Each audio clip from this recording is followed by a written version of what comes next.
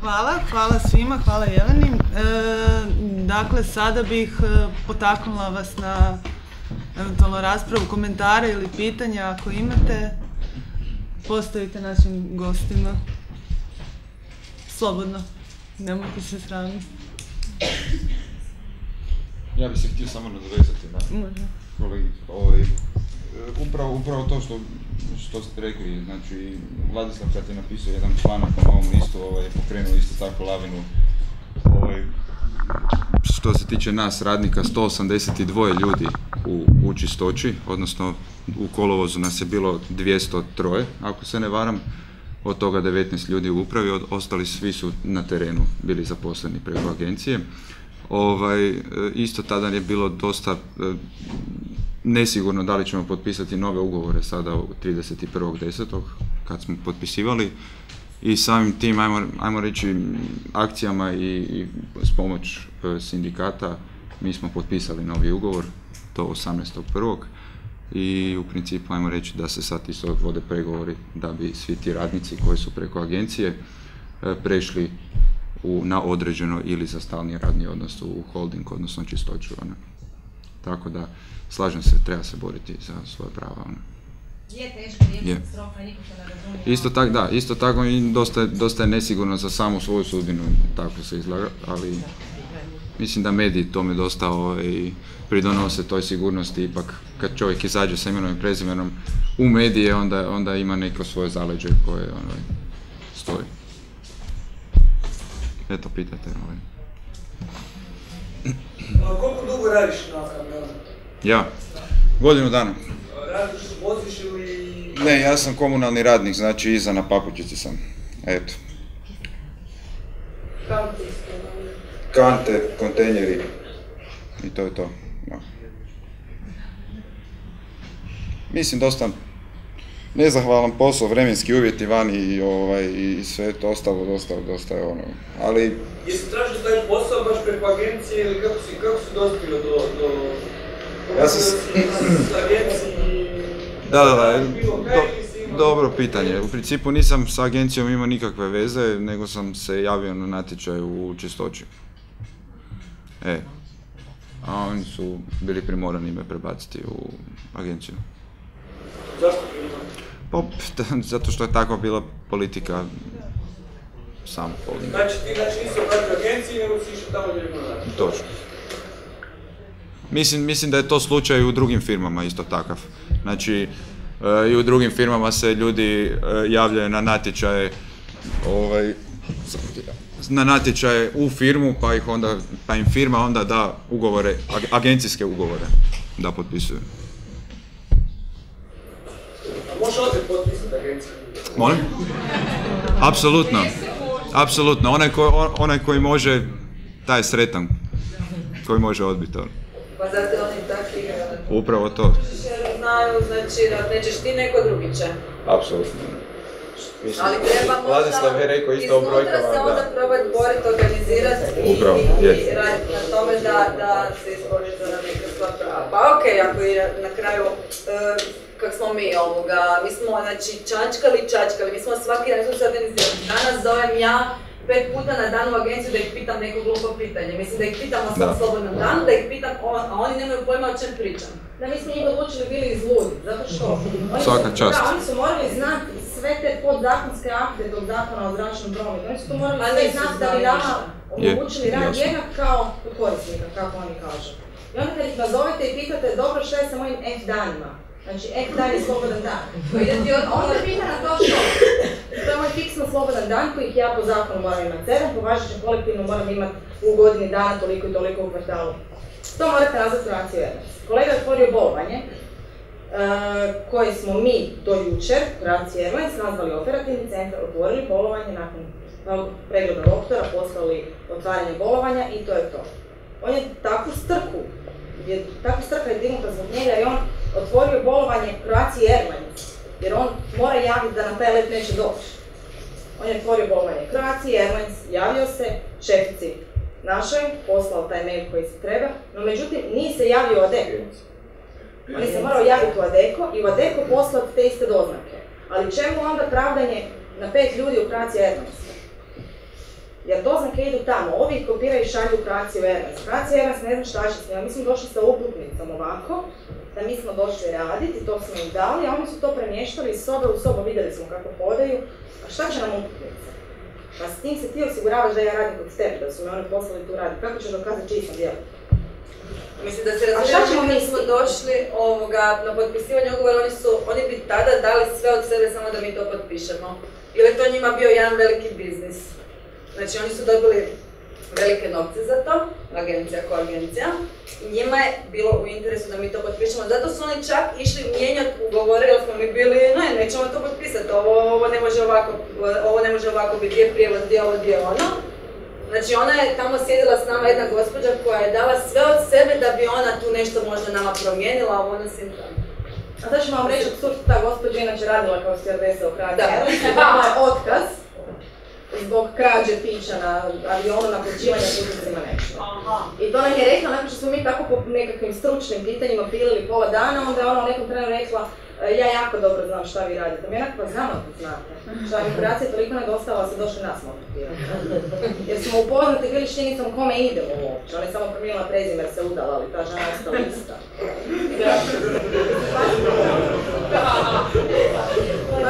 Mi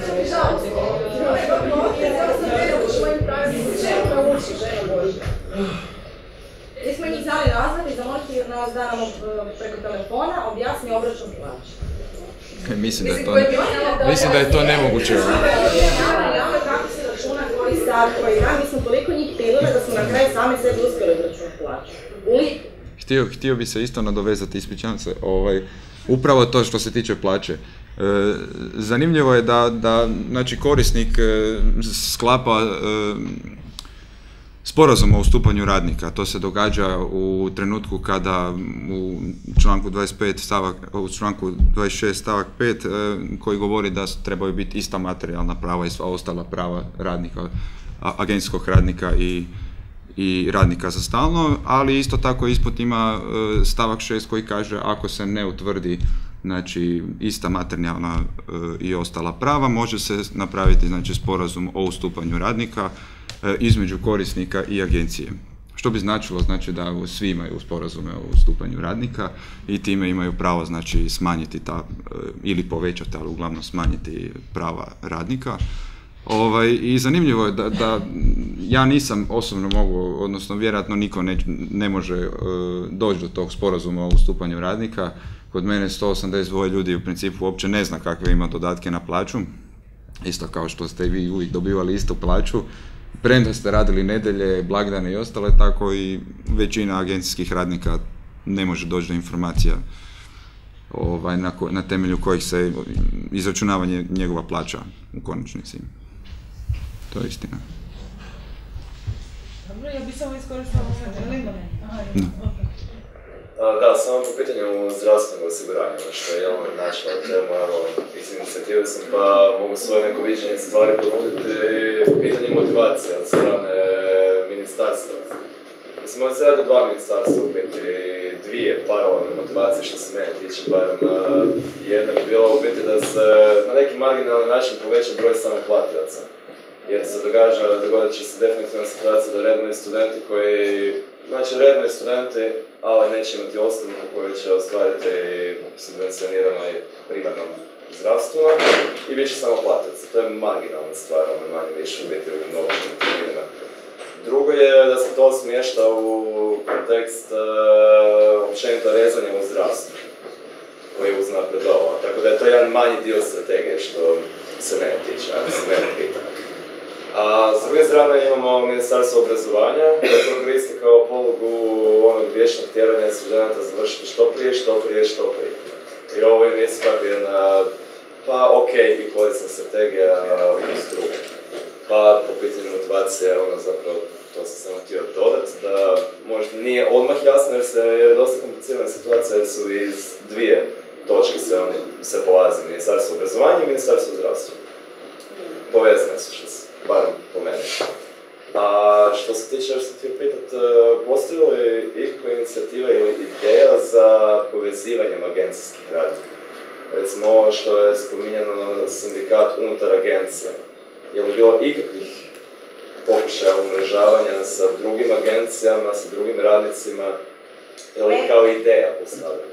E, mi nismo mogli se umrežiti nikome i ničemu zato što prava koja smo mi tražili bila su isključivo za djelatnike kabinske posade. Da, da, samo mislim, um, Ehm, ne, mi smo tu trajali dva i pol mjeseca dok ih nismo dovoljno izludili pa su nas poslali natrag. da. Ali novi sindikati Marije Veković su, ja sam sigurno potpuno otvoreni dan danas za takve stvari, ali teško je napraviti nekakav agencijski sindikat iz razloga što agencije zapošljavaju doslovne od magistara do pilota, stewardesa više ne, do nekakvih ono e, zanimanja koje su administrativnog tipa pa je lakše obračunati, lakše se možda dogovoriti o nečem.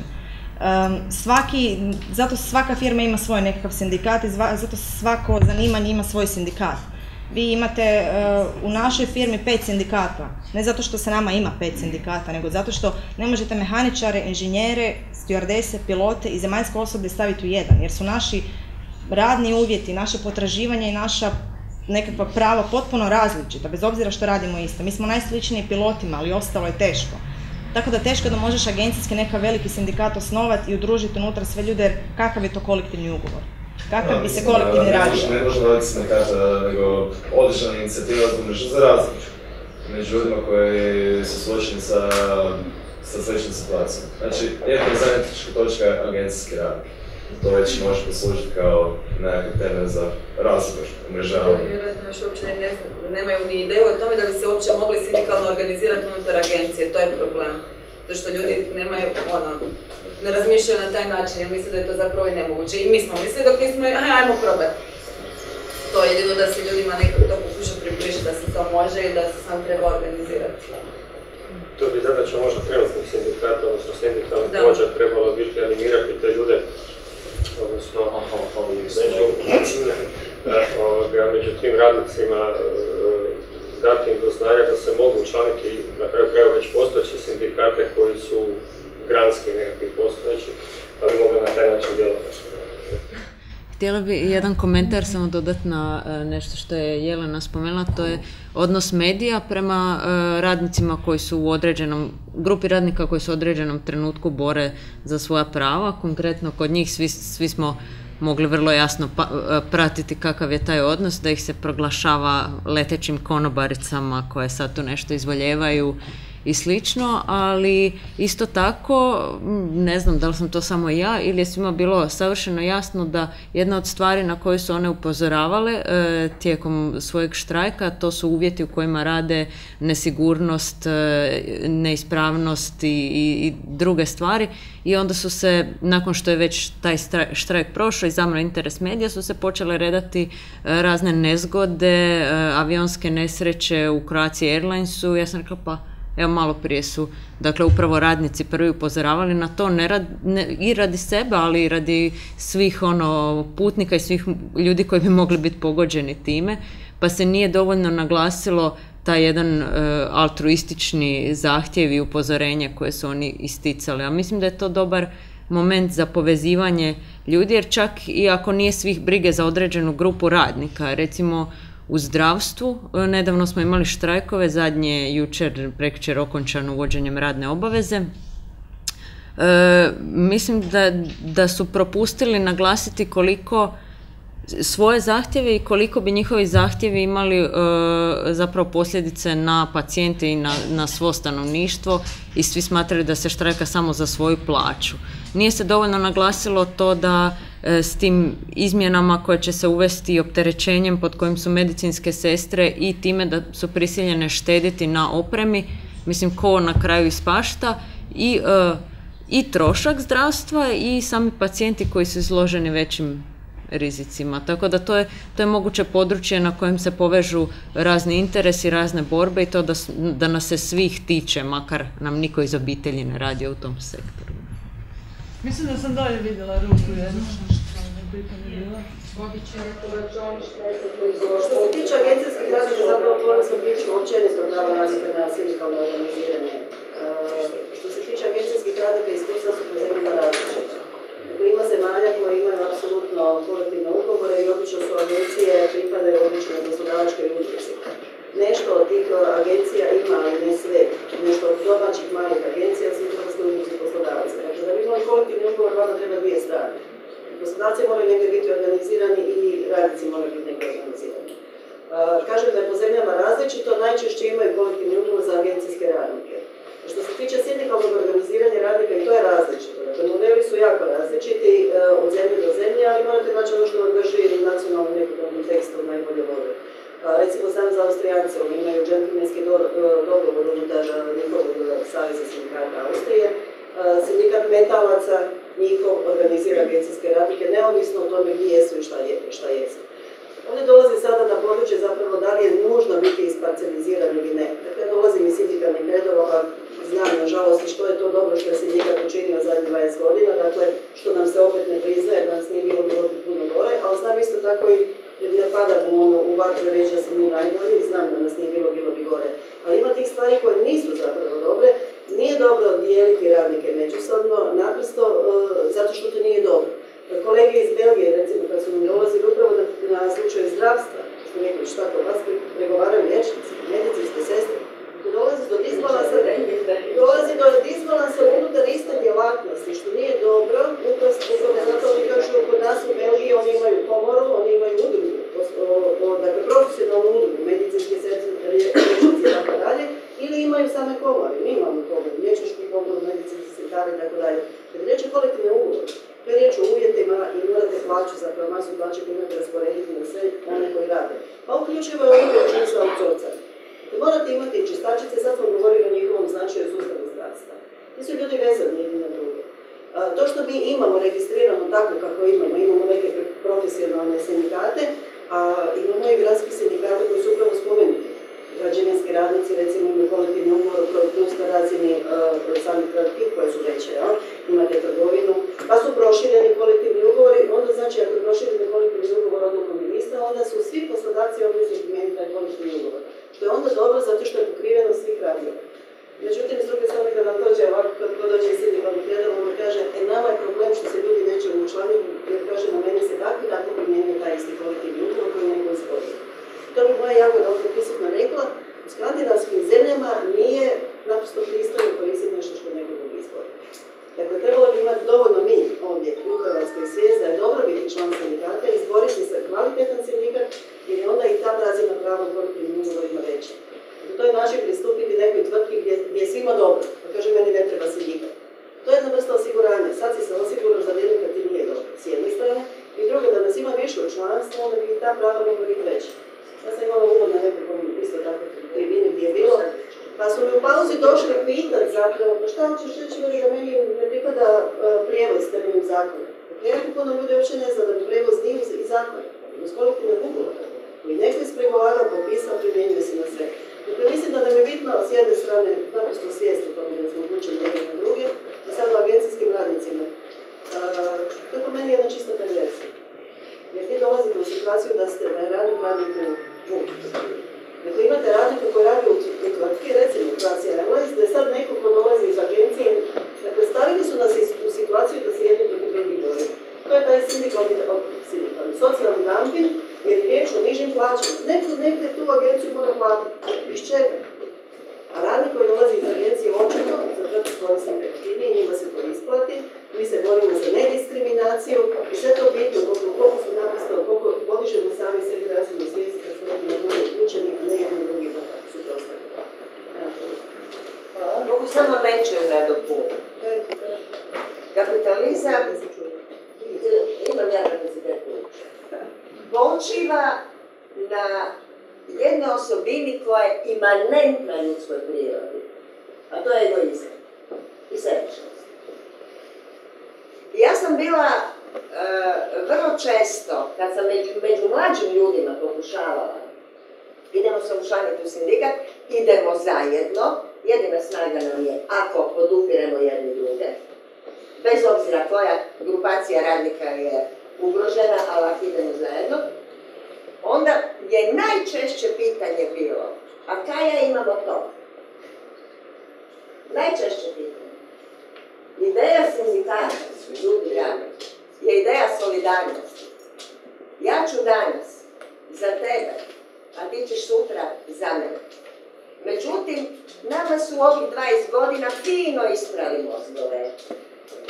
Pa čim spomeneš solidarnost, što se meni desilo u jednoj zagrebačkoj tvornici obuće koje više davno nema, kad sam spomenula, nakon što je 30% radnica bilo na listi za odstrel, ono privatizacija i te priče, i lijepo rekla ostalima u toj tvorničkoj hali u kojoj su proveli većinu života više nego sa svojom decom doma, da moraju stati iza ovih 30%, jer je sutra sljedećih 30% za godinu dana nikog nema, i da moraju biti solidarne, meni je iz ugla dvorane, ja govorim o radnicama, dakle o tipičnom radničkom okruženju, o hali sa radničkim strojevima, dobačeno komunjaro.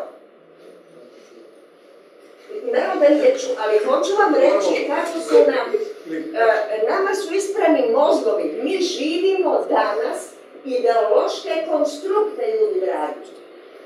Čiste ideološke konstrukte, kaj je to? Kompeticija, konkurentnost, e, e, kako se ono kaže, friendly, in, kako se ono kaže fragu, dakle, okruženje, prijateljsko okruženje ili za investicije. A to znamo što znači za Boga. Koje je to investicijsko ili poslovno dobro okruženje? Da imaš eksploatiranog radnika, da imaš povremeni rad, privremeni rad, agencijski rad, sve ono kaj živimo. To su sve ideološke konstrukcije. Sve, sve, uključivo konkurentnost i tak dalje. Za Boga miloga, ali mene zanima da li vi vjerujete, da li vi vjerujete da ovo naše povezivanje sindikalista,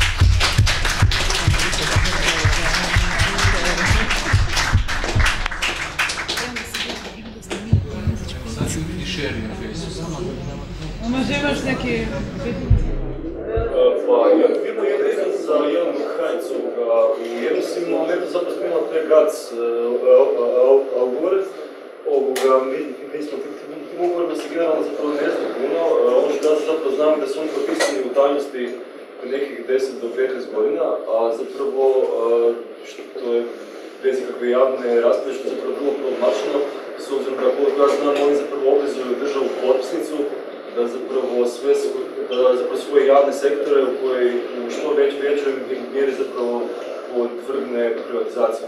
Sad, da li sam u pravu? Ne, ne smo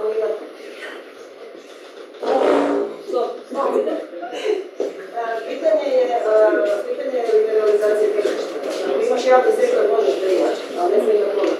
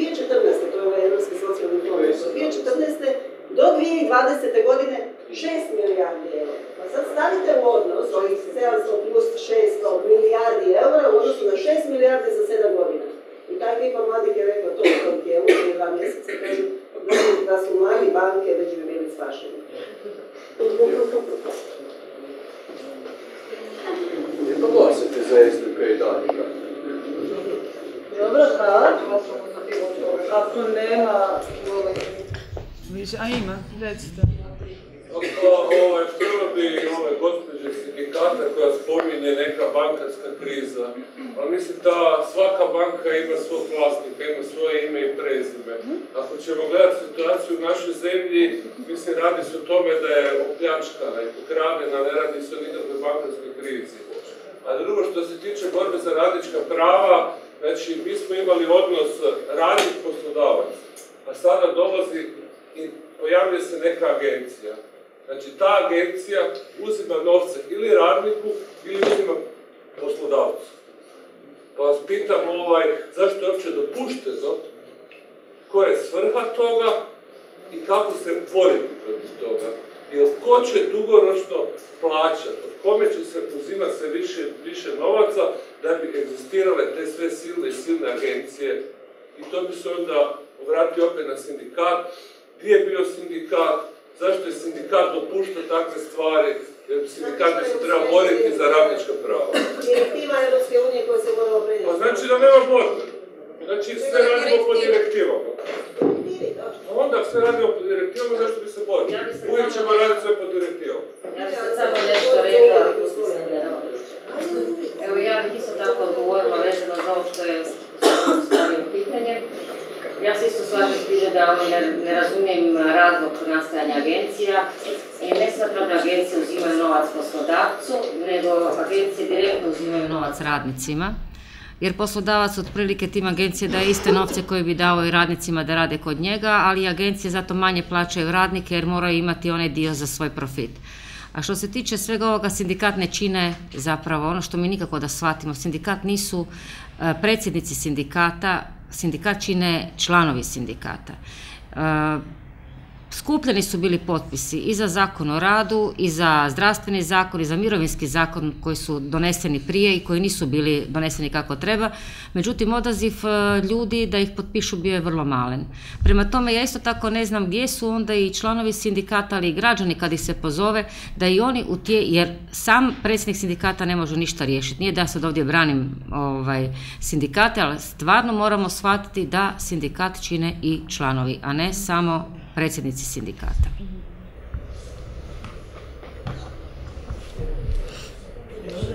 Tako, samo kratki odgovor. Recite, recite. E, U, u ovome, točno da članovi sindikata, ali zašto su ljudi u sindikatima? Većina ih je u sindikatu zato što dobivaju kasu uzajamne pomoći. I to je ono što drži ljude u Nema, sindikatu. Svjetske polovice. Nema Svjetske toga. polovice su nekad bile, a sad su kase uzajamne pomoći.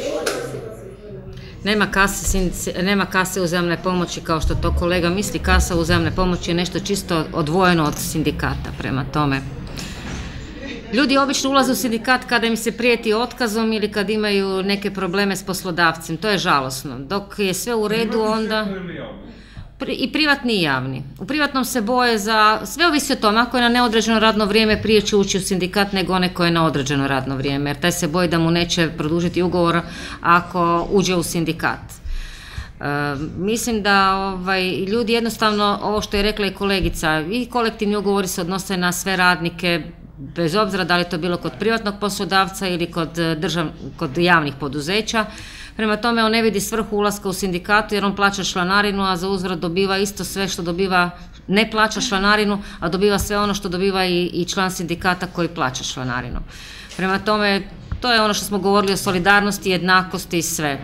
Sindikati jedino što, ovaj, e, ono čime se danas sindikati bore, ja moram reći da postoji ipak velika razlika od prije. Prije jesu bile svinske polovice, putovanja i ne znam, jer, jer nekada ste bili, što ono kažem, nekada su radnici bili zaštićeni. Vi ste svoje pravo koje ste imali, bilo pravilnikom o radu, bilo kolektivnim ugovorom, naprosto ostvarivali automatski. Danas, međutim, vi imate i kolektivnim ugovorom neka prava koja poslodavac jednostavno zaboravi vam isplatiti ili dati, ne, i onda morate naprosto to tužiti. Mislim da danas većina sindikata se zapravo bavi e, e, zaštitom svojih radnika, koliko god to može, plaćaju, plaćaju im se i sudski troškovi sve. Nije više tako kao što, je, kao što je to bilo nekada, da su radnici samo iz interesnih razloga materijalnih. Mislim da se sad ti razlozi ipak e, mijenjaju. Ne, prema tome ovaj, to ne stoji, ali još uvijek velim da dok god su ta prava za sve radnike ista, vrlo malo ljudi ovaj, smatra da se treba učlaniti u sindikat i plaćati članarinu koja stvarno, mislim, nije niti velika, ali je to tako, nažalost.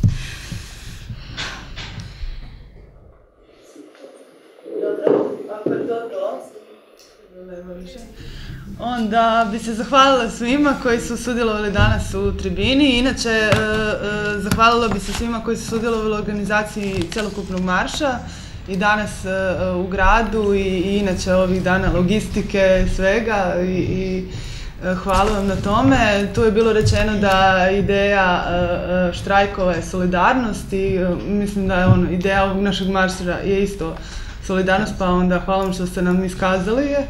I pratite i dalje rad mladih antifašista i antifašistkinja Zagreba. Da ne bi završila na, na nepokorenom radu, spomenut ću nepokoreni grad, e, časopis naš koji će kroz mjesec dana drugo izdanje, to jest drugi broj e, izaći ovoga, pa onda pratite nas i to. Hvala gostima, hvala svima koji su sudjelovali. Eto, ostanite.